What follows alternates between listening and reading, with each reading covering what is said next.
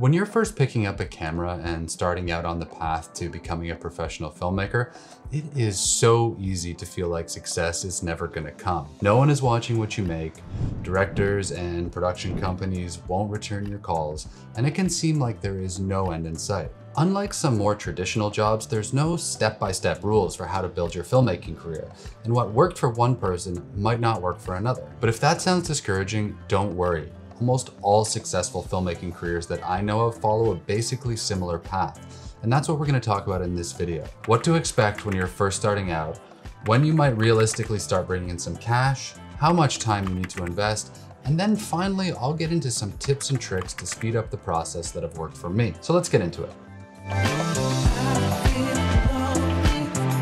Hey guys, welcome back. And if you're new here, my name is Luc Forsyth, and on this channel, I teach the skills I've learned over 10 years working as a professional documentary filmmaker and photographer. Right off the bat, I think it's important to say that there is no silver bullet solution to how to build a successful filmmaking career. There are countless different ways to make it in this business, and sadly, you're not going to be able to just copy the steps that someone else took and expect it to work for you in exactly the same way. No! God, please, no! No! Anyone who tells you they have a secret formula for succeeding quickly is lying to you. And I don't want to mislead anyone into thinking that there is a fast or easy way to make this work. But the good news is that there are definitely things that pretty much every professional I know of have in common and by applying those lessons to your own career, you'll have a much better chance of making it through. The best piece of advice I ever got when starting out on my documentary journey was from my photojournalism mentor. I'd spent the last two years as an English teacher in South Korea, and while I was there, I decided that I wanted to change directions and become a professional photojournalist. So I took all my savings, bought a used camera, and signed up for a workshop with one of my favorite photographers. On the first day, we were sitting in a restaurant in Dhaka, the capital of Bangladesh waiting to go out shooting when he told me something that was a bit hard to hear at the time, but has been one of the truest and most useful pieces of advice I've ever been given. And that was, don't start if you want it fast. Basically, he said that I should be looking at my career from a long-term perspective, and that I should be prepared to put in up to five years of work before I could expect to be really working full-time as a pro. Now, if I'm being honest, I found that pretty hard to hear. I'd spent a good chunk of my life savings on the workshop and camera, and hearing that I could be years away from accomplishing my goals was not what I wanted. I really had to stop and think about whether or not I was really prepared to wait that long or if I wouldn't just be better off going back to my teaching job and its guaranteed paychecks. In some ways, it probably would have been a lot easier if I just packed it in then and went back to my job.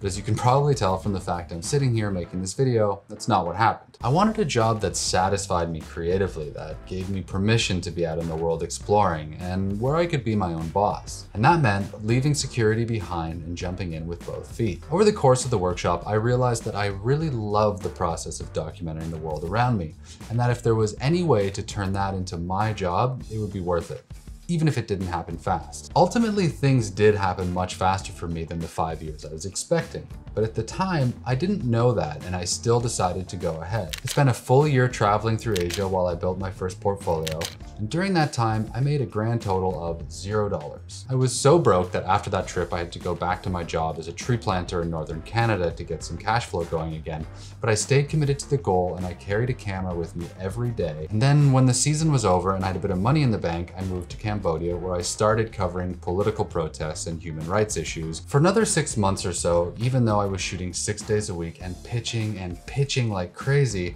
I made, you guessed it, nothing. I was running out of money again, and I was actually thinking I might have to go back for another season of tree planting when I caught a lucky break and got my photo published on the front page of the New York Times. After that, work started to slowly trickle in, and by the end of my second year, I was earning just enough to get by. And remember that I was living in Cambodia, which has a very low cost of living compared to other places, and I was still barely making it work. I actually made a full video about how that whole process went down, and I'll link to it somewhere up here. It was probably probably another year after that until I was working enough to have some financial breathing room, which means that it was around two and a half years in total from when I first started to take work seriously to the point where I was living from it. Two and a half years is a long time, but for me it felt like I'd made it happen super fast Because I'd been expecting to work for at least five years, when things started to work out sooner than that, I felt like I was winning the game. Now, obviously, photography and filmmaking are different, but if I'd been starting out as a filmmaker right from day one, the path would have been pretty much the same. Now, that was what worked for me, and it might not work for you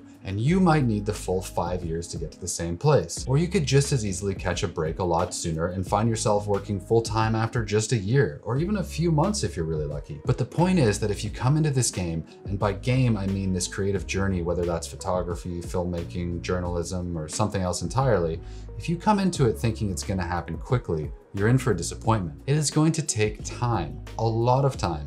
And the more prepared you are for that, the better you'll be able to weather the inevitable setbacks and challenges along the way. The people who really succeed in this business are the ones who stick around the longest. And the only way to absolutely guarantee that you won't make it is to quit. So settle in for the long haul and prepare to be pleasantly surprised if you're able to speed things up. If that sounds discouraging, I get it. It's way more sexy and exciting to hear that you can do things quickly, but I really wanna make sure I'm giving you true advice on this channel and advice that's grounded in my own experience. And in my experience, careers with real staying power take time to build. Slow can be frustrating, but slow is good because it creates a strong foundation.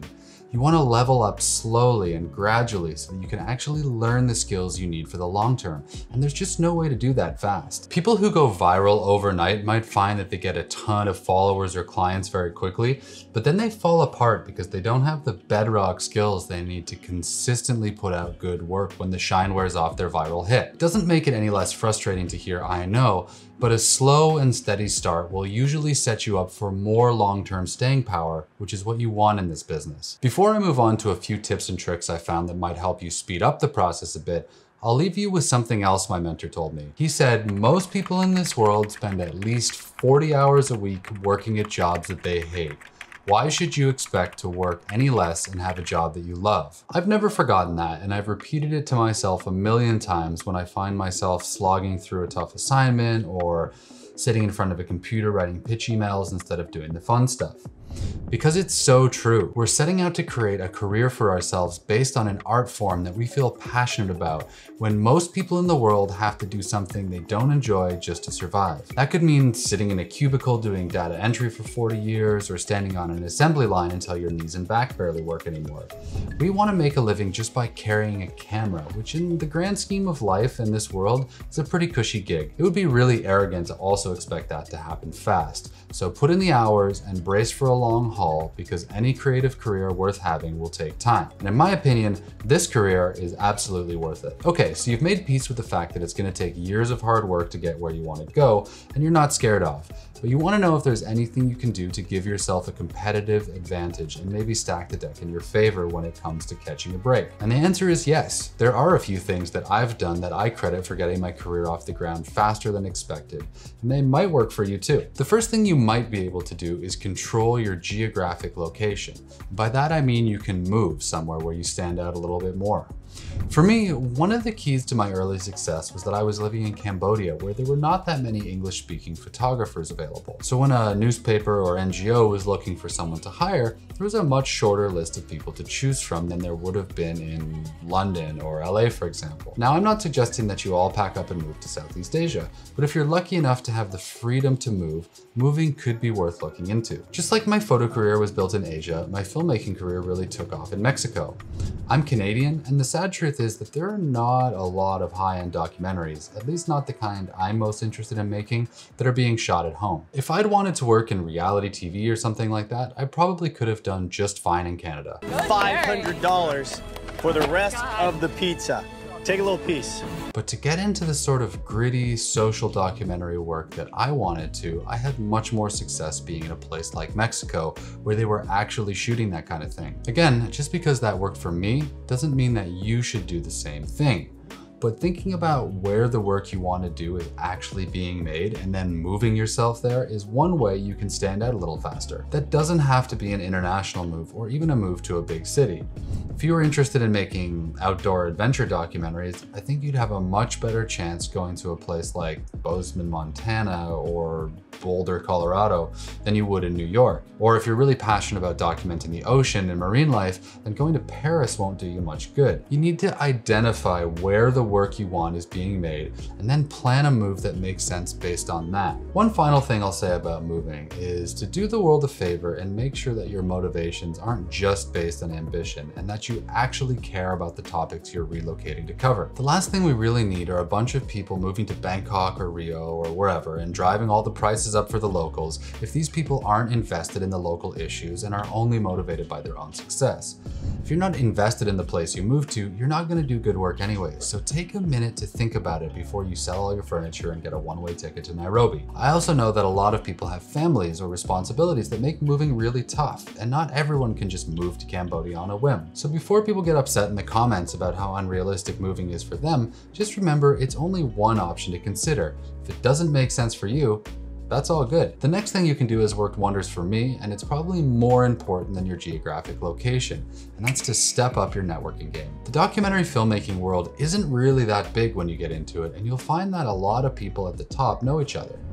It can seem daunting to break in, but once your name is being passed around those circles, you'll probably have more than enough work to keep you going. That means getting yourself in front of those people so they actually know who you are. And in the beginning, that means networking. Networking is one of those things that most creative people hate, but has been so important for my career. The way I went about it is that when I was living in Mexico, I made a list of all the production companies who were making the shows I wanted to work on, then I figured out where they were located. I learned pretty fast that most of them had offices in New York, so that made sense as a place to start. I saved up some cash and set aside about a week to go there with the sole aim of meeting new people and expanding my network. I probably emailed about 50 or so people ahead of that trip, and while quite a few of them ignored me, probably about 10 or so agreed to meet with me.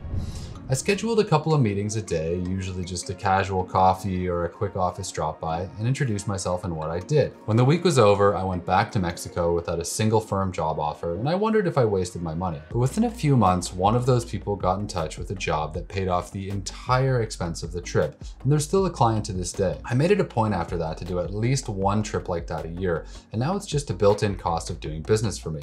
It might take a long time to see the results of your networking trips, but if you stick with it and are persistent without being annoying, it's one of the best ways to get your name out there and in the mix for work. I'm gonna make a more detailed video just on the ins and outs of networking soon because it's just that important, so stay tuned for that one. The last thing, and possibly the most powerful thing you can do to speed things up, is to create regularly and share your work publicly. There's a really great book by Austin Kleon called Share Your Work, and I'll link to it in the description, which is basically about the need for all artists of any sort to share their work if they want any chance of success. It doesn't matter if you're the most talented filmmaker this generation has ever produced, if people don't know what you're making, you won't get anywhere. In order to share your work, you'll have to make work, so the idea is tied up with practicing. Going out and experimenting and practicing, then sharing those results can be a really powerful way to make new connections. If I were starting out again as a documentary filmmaker, I'd do this by trying to make as many short films as I could, then posting them online or submitting them to film festivals. It could be even just a minute long or two minutes long and posted to YouTube or Vimeo or even TikTok, whatever. Just make work and put it in places where people can see it, and you'll seriously increase your chances that people will come to you because they like your style and want the same thing for themselves. Your best shots aren't doing you any good trapped on your hard drive anyways, so get your work out there. All right, so that's it. My insights on what you should expect in terms of a career timeline and what you can do to speed things up a little. Those three things uh, moving, networking, and sharing work have worked best for me in the past, but if you have any other tips, post them down below in the comments for everyone. There is no single way to make things work and everyone's career is different, but what they all have in common is time, practice, and dedication. Hope that video was helpful and that it gave you some ideas for how to approach the next stage of your own careers. If you liked that one, maybe think about subscribing to the channel so I know which videos to keep making for the future. And if you did enjoy it, maybe you'll like this other one I made about one of the first big career decisions filmmakers have to make. See ya.